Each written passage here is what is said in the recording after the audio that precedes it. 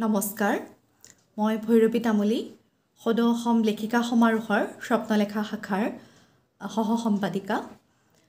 প্ৰজন্ম অনুষ্ঠানটিৰ বাবে বিশেষনো কি দিম। এটি কবিতা পাঠ কৰিবলৈ লৈছোঁ।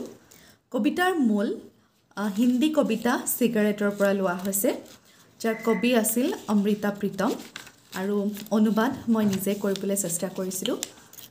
পোনতেই সেইকাৰণে কৈছোঁ ভুল হ'লে ক্ষমা কৰিব।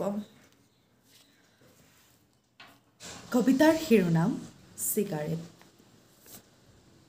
এয়া জুইৰ কথা। এয়া তুমিয়েই শুনোৱা কথা।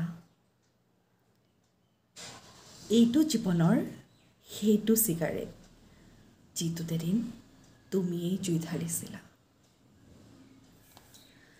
তুমি যি ফিৰিঙতি দিছিলা সি হৃদয়ত আজিও দহি আছে।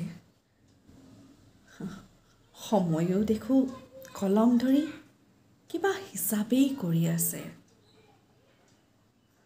চৈধ্য দিনৰ এই বহীখনেই চোৱা বা চৈধ্য বছৰৰ এই কলমটোক সোধা। মোৰ এই শৰীৰত তোমাৰেই উশাহ বৈ থকা পাবা। ধৰণীয়েও সাক্ষী দিব।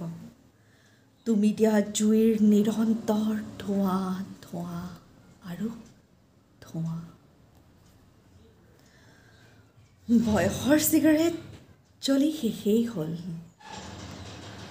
মোৰ জীৱনৰ সুগন্ধ কিছু তোমাৰ উশাহত আৰু কিছু বতাহত মিলি গ'ল। চোৱা এইটো শেষৰ টুকুৰা। এৰি দিয়া আঙুলিৰ পৰা।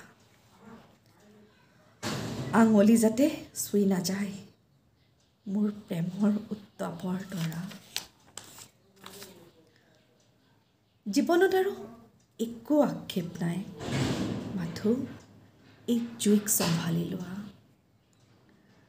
তোমাৰ হাত সুকলমে ৰওক অন্য এটা চিগাৰেট জ্বলক ধন্যবাদ।